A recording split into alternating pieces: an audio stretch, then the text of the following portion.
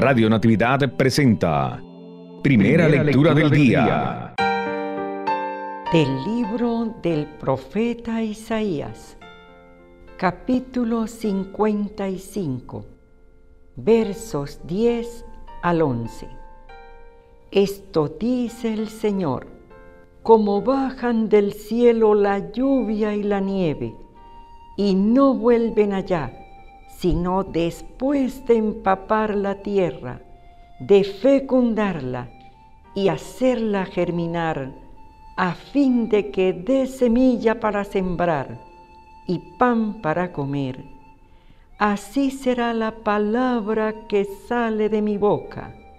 No volverá a mí sin resultado, sino que hará mi voluntad y cumplirá su misión palabra de Dios. Te alabamos, Señor.